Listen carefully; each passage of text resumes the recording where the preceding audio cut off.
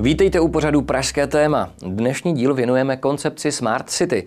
Když jsme se v našem exkluzivním průzkumu Pražanů zeptali, co je to chytré město, více než třetina z nich si pod tímto pojmem nedokázala nic představit. Pokud jste na tom podobně i vy, doufáme, že po následující desetiminutovce bude vaše představa jasnější. Dobrý den.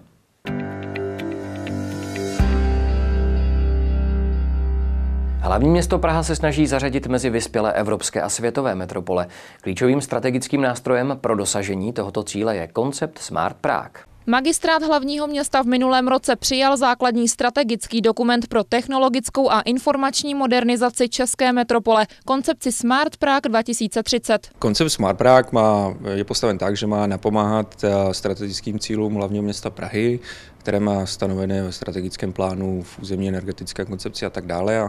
A, Smart Prague je proto, uh, zde proto, aby uh, pomohla pomocí technologií tyto cíle dosáhnout rychleji, efektivněji, za méně peněz. Cílem je definovat vizi a strategii v oblasti projektů Smart City v Praze.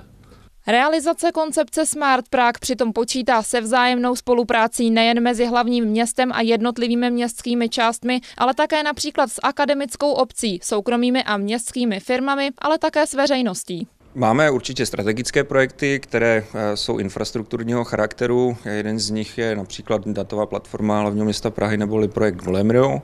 Eh, jsou určitě eh, strategické projekty virtualizace lítačky, například dále výstavba páteřní sítě rychlonabíjecích stanic pro elektromobily, tak aby jsme byli připraveni na elektromobilní revoluci, kterou očekáváme v následujících eh, jednotkách let. Operátor ICT jako garant a manažer realizace rozvojové strategie Smart Prague přitom využívá nejmodernější technologie. Například technická zpráva komunikací po, po nás chce eh, nebo může chtít prostě real-timeové predikce dopravy hodinu dopředu. Veřejnost může chtít eh, informace o real-timeových polohách vozu MHD, tak aby věděli, že něco má spoždění. My jsme schopni detekovat rozdíly v rámci rámci prostě ulic. A to si můžeme různým způsobem vykládat. Například je někde více zeleně, tak je tam menší znečištění. Nebo je někde nějak vysoký barák, neproudí tam vzduch, částice tam zůstávají. A to je velmi důležitá informace pro ty lidi, kteří tam bydlí na tom konkrétním místě. Realizace rozvojových projektů strategické koncepce Smart Prague 2030 přitom nepočítá pouze s financováním z prostředků městského rozpočtu, ale u každého projektu budou analyzovány a prověřovány možnosti kofinancování s využitím veřejných i soukromých finančních prostředků. Milan Dřebka a Kristýna Svobodová, Televize Praha.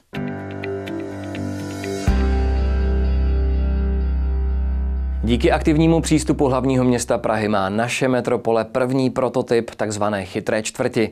Operátor ICT zahájil její testovací provoz v Pražském Karlíně. Technologie pro tzv. Smart District neboli chytrou městskou čtvrť se rozhodl operátor ICT otestovat právě tady na Karlínském náměstí a v ulicích Sokolovská a Křižíkova. Karlín je skupina technologií, víme o rychlonabíjecí stanice, jsou tam i prvky chytrého mobiliáře, ale asi ta hlavní věc, eh, která je v Karlíně eh, zavedena, jsou eh, systémy na veřejném osvětlení. Osadili jsme 93 lamp senzorikou. Instalace nových technologií a senzorického měření tady v Karlíně je součástí koncepce Smart Prague. Ta se zabývá technologickým rozvojem hlavního města až do roku 2030. Na těchto technologických projektech eh, si zde zkoušíme vlastně jejich synergie mezi sebou. My jsme zjišťovali, jak se ta data chovají, jaké mají rozptyl, jestli se dá na to spolehnout. I jsme to porovnávali s certifikovanými stanicemi Českého hydrometeorologického ústavu. V současné chvíli jsme zjistili, a to je na, na základě toho pilotního projektu v Karlině, že jsme schopni měřit kvalitu ovzduší na tzv. mikroúrovni, což je rozdíl oproti tomu, co se v současné době dělá. Se měří polet na makroúrovni za celé město. My jsme schopni detekovat rozdíly v rámci prostě ulic. Nové osvětlení to nejsou jen nová svítidla na pouličních lampách. Je to i celá řada senzorů, které snímají nejrůznější informace a data v dané lokalitě. Co všechno dokážeme měřit, tak jsou třeba prachové částice, teplota, tlak, ale koncentrace různých oxidů, eh, ozonu eh, a podobně.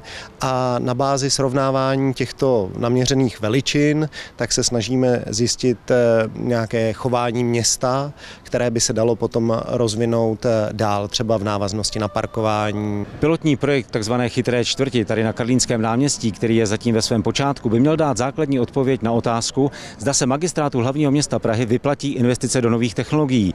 Už dnes je přitom zřetelné, že takovýto systémový přístup může znamenat skutečnou úsporu jak investičních, tak i provozních nákladů. Milan Řepka, Televize Praha.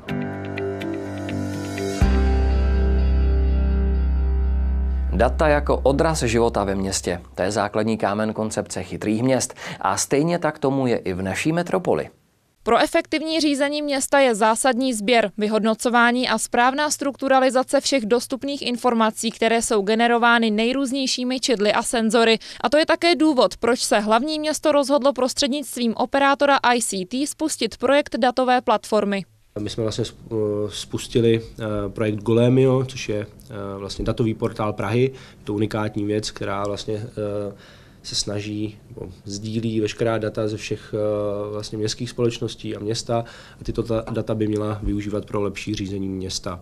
Cílem těchto projektů a realizaci toho, té chytré laboratoře venkovní dílčích jednotlivých projektů je získat vlastně data, Eh, a informace, tyto data a informace zpracovat a ve strukturované podobě je nabídnout jak veřejnosti, tak i představitelům města. Datová platforma jako taková z technického hlediska je prostě nástroj, který vám umožňuje integrovat jakékoliv zdroje dat, teda ta ukládat do databáze, dělat na tím reporting, business intelligence, vizualizace a dále ta data v nějaké formě poskytovat. Takže pro to město jako takové je tady to uh, určitým ohledem, my tomu říkáme dispatching, uh, nějaký nástroj, který vám umožňuje real-time můj pohled na stav města z hlediska těch dat, která tam jsou integrovaná a prostě to, co se tam zaintegruje, to omezeno nějak není. Je to dané spíš tím, co to město jako takové bude chtít, ale není to jenom pro město jako pro magistrát, ale tady ten dispečník my nabízíme i magi, městským částem, anebo spolupracujeme i s městskými společnostmi. Takže ty všichni můžou využívat tenhle systém, kde jsou prostě integrována data z více zdrojů. Takže například jedna městská část se může koukat na data jiné městské části skrze tenhle systém. Práce na projektu datové platformy hlavního města začaly počátkem letošního roku a od června je Golemio v testovacím provozu.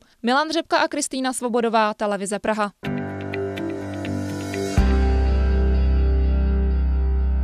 Pohodlnější cestování, jednodušší nákup jízdného a variabilita možností platby pro cestujícího. To jsou hlavní výhody nového systému tzv. virtuální lítačky a právě tato karta také patří do konceptu Smart Prague.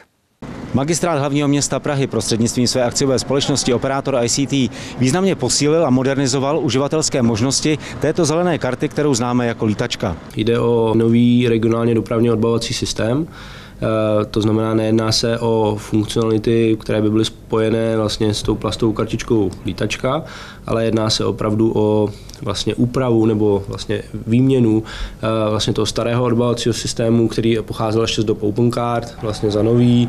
eh, a na tomto novém odbalovacím systému v zásadě funguje v tuto chvíli kolem 25 dopravců, kteří se pohybují jak v Praze, tak ve středu Českém kraji. Ten nový odbavovací systém funguje na jiném principu než ten starý. Díky této liberalizaci jsme byli schopni přiřadit do toho odbalovacího systému nejenom vlastně tu starou kartu lítačka, Eh, kterou eh, cestující používají, ale eh, mohli jsme tam zařadit i další identifikátory, jako je například platební karta nebo partnerské karty, typicky například Enkarta českých drah. Asi největší technologickou revolucí v rámci regionálního dopravního systému a pražské integrované dopravy je virtualizace lítačky do mobilní aplikace, která dynamicky zjednodušuje jak nákup jednotlivého jízdného, tak i dlouhodobých časových kuponů. Velkou novinkou této mobilní aplikace je, že poprvé je určena i pro cestující ve středočeském kraji. Jízdenku si velice jednoduše cestující koupí přes tu mobilní aplikaci, vyhledá spojení a automaticky v rámci vyhledávaných destinací či, či stanic, na které chci jít, mi to nabídne nejlevnější jízdenku, kterou pro tuto jízdu budu potřebovat. Jízdenku si pak velice snadno koupím přes platební bránu klasicky uh, přes svoji bankovní platební kartu. Uh, rovněž pro rozjednodušení je možné si nahrát tu bankovní kartu do systému a potom už jenom platit a nezadávat celé, celé vlastně kódy. Jízdenka potom automaticky je zaktivována, objeví se QR kód, který, uh,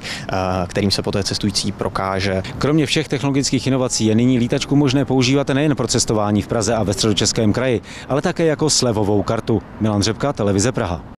To je vše. Doufáme, že jsme vám alespoň trochu vysvětlili, co si pod pojmem Smart Prague představit. Mějte se krásně a těšíme se na setkání u příštího dílu, který věnujeme dalšímu zajímavému tématu – pražskému školství. Na viděnou.